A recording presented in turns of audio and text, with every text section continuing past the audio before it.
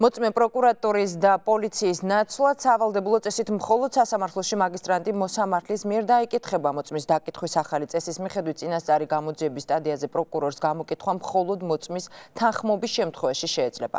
მოწმის დაკითხვის ახალი წესი 2016 წლის 1 იანვრიდან უნდა ამოქმედეს, თუმცა ახალი წესი არ გავრცელდება ძალადობრივ დანაშაულზე. ამ ნაწილში ახალი წესი სავარაუდოდ 2017 წლამდე გადავადდება. რას გულისხმობს მოწმის დაკითხვის ახალი წესი და რა შენიშვნები აქვს არასამთავრობოებს? დეტალები გადმოგვებით ნახეთ ბელა ზაქაიძის რეპორტაჟში. ბატონო, არ გინდათ ახლა დემოკრატია. ვერ გავიგე, ამიტომ კითხები მიშნა დავსვა, ეს კითხვა დავსვი მარტო. წინასწარი გამოძიების სტადიაზე მოწმის დაკითხვის ახალი წესის შემოღების საკითხი ადამიანის უფლებათა კომიტეტის სხდომაზე პირველი მოსმენით განიხილეს. სიახლის მიხედვით მოწმე სავალდებულო წესით პროკურატურის და პოლიციის ნაცვლად მხოლოდ სასამართლოში დაიკითხება.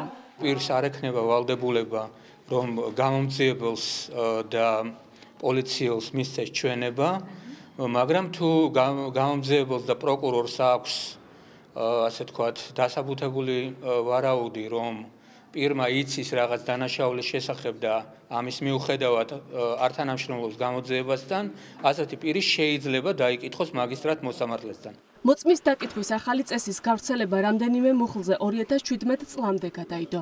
მათ შორის კონსტიტუციური წყობილების დამხობის და ტერორიზმის დანაშაულებებზე. უსაფრთხოების სამსახურის პოზიციით მოწმის დაკითხვა გამომძიებლების და პროკურორების მიერ მათთვის მნიშვნელოვანია, რათა სწრაფად და ეფექტურად დაგეგმონ ფარული საგამოძიებო მოქმედებები. ყველა სახელმწიფო იწყებს პრევენციას იმისთვის, რომ მაქსიმალურად იყოს შესაძლებელი ძალიან სწრაფად და დასაწყის ეტაპზე მოხდეს დანაშაულებების გამოვლენა, ამიტომ აქ კონკრეტული მუხლების დათქმა, რომელიც პროექტის ავტორებმა შემოგთავაზეს, სწორედ ამით ხსნიან. პროკურორს და გამომძიებელს მოწმის გამოკითხვა მხოლოდ იმ შემთხვევაში შეიძლება, თუ მოწმე თანახმა. თუმცა მოწმეს გამოკითხვის ოქმში შეტანილი ცრუ ინფორმაციისათვის სისხლის სამართლებრივი პასუხისმგებლობა დაეკისრება. ეს წესი გავრცელდება ადვოკატების მიერ მოწმის გამოკითხვის შემთხვევაშიც.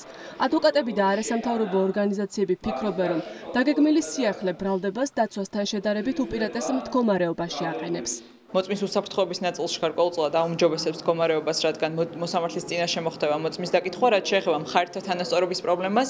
ფიქრობთ, რომ აბსოლუტურად ვერ იხსნება ის პრობლემები. მოწმის მიცემული ჩვენება, როდესაც მხოლოდ მხოლოდ პროკურატურა დაესწრება ამ ამ პროცესს, მოწმის მიერ მიცემული ჩვენება შემდეგ უკვე მისი შეცვლა არის დასჭადი. ეს ერთი, შემდეგ უკვე დაცვის მხარე არ მონაწილეობს ამ პროცესში და მოწმის სანდოობის შემოწმება მას არ შეუძლია. არის მოსაზრება, რომ გარკვეული მუხლების შემთხვევაში არ ამოქმედეს ეს წესი, რაც არ მიმაჩნია სწორად, ვინაიდან ეს საომალოდ ამან შეიძლება გამოიწვიოს კვალიფიკაციით манипулირება.